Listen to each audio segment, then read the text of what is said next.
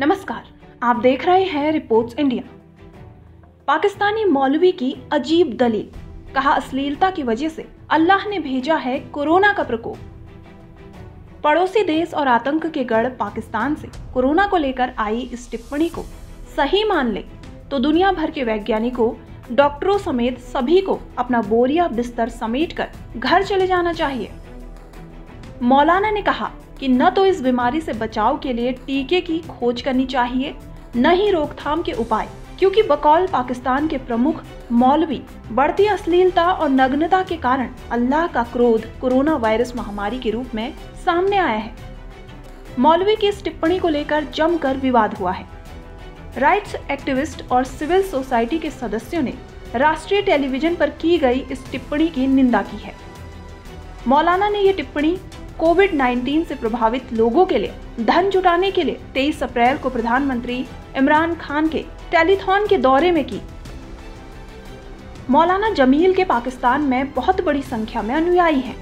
मौलाना ने कहा, अश्लीलता और नग्नता के कारण अल्लाह को क्रोध आया और उसने कोरोना वायरस के रूप में इसे भेजा। मौलाना ने यह भी कहा, मेरा देश बेटियों को डांस करवा रहा है। उनके कपड़े छोटे करा रहा है। समाज में अश्लीलता आम होने पर अल्लाह ऐसे ही अपना क्रोध भेजता है। इस टिप्पणी को मुस्लिम बहुसंख्यक देश की आधी आबादी, यानी महिलाओं के लिए कठोर और अपमानजनक कहा गया है। हम जो एक लफ्ज इस्तेमाल कर रहे हैं, लड़ना है, ये आसमानी आफत है, इससे लड़ना नहीं है। इसका इलाज करके अल्लाह को आजजी दिखानी है और अपना सर सजदे में रख के रोना है।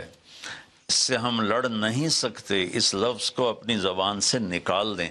चाहे दिल में उसके बारे में कोई तकबर ना हो, लेकिन ये लफ्ज़ अल्लाह को पसंद नहीं है कि मुझसे लड़ना चाहते हो। देखने, एक छोटे से वायरस से अल्लाह ने सारी दुनिया को हिला के रख दिया। अब मैं कैसे बात करूँ?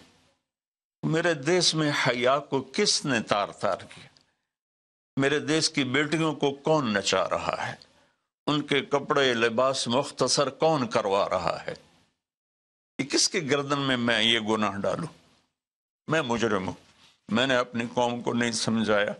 मैं अल्लाह से माफ़ी माँगता हूँ। कानून और न्याय के संसदीय सचिव बैरिस्टर मालेका बुखारी ने ट्वीट किया, एक महामारी का प्रसार कभी भी नहीं होना चाहिए और किसी भी परिस्थिति में इसे महिला की धर्मनिष्ठा या नैतिकता से जुड़ा नहीं होना चाहिए।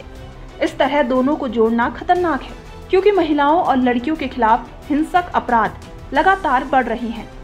वहीं संघीय मानवाधिकारी मंत्री शरीन मजारी ने कहा, हम इस तरह के भद्दे आरोपों के बहाने महिलाओं को निशाना बनाना स्वीकार नहीं करेंगे।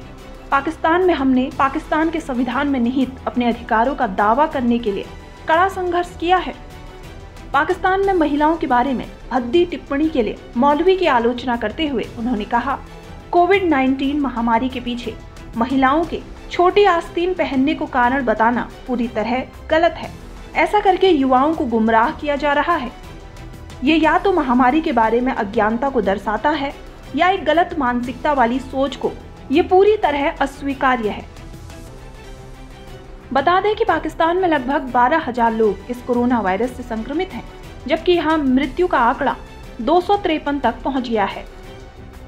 वहीं दूसरी तरफ़, पाकिस्तान में कोरोना वायरस से संक्रमित होने वाले डॉक्टरों की संख्या शनिवार को बढ़कर 160 हो गई, जबकि तीन स्वास्थ्य कर्मियों की मौत हो चुकी है। वहीं देश में व्यक्तिगत सुरक्षा उपकरण, पीपीई की कमी को लेकर मेडिकल स्टाफ का विरोध शनिवार को नवे दिन भी जारी रहा। पाकिस्तान मेडिकल एसोसिएशन के अनुसार, एक हफ़्ते पहले वायरस से संक्रमित हुए डॉक्टर मोहम्मद जावेद इकबाल की पेशावर में मौत हो गई। इससे पहले गिलगित बाल्टिस्तान और कराची में एक एक डॉक्टर की कोविड 19 के कारण मौत हो गई थी। एसोसिएशन के अनुसार अब तक 160 डॉक्टरों समेत 250 स्वास्थ्यकर्मी कोरोना वायरस से संक्रमित हुए हैं। पाकिस्तान में पंजाब स्वास्थ्य विभाग के बाहर डॉक्टरों और नर्सों के संगठनों का विरोध प्रदर्शन शनिवार को नवे दिन भी जारी रहा।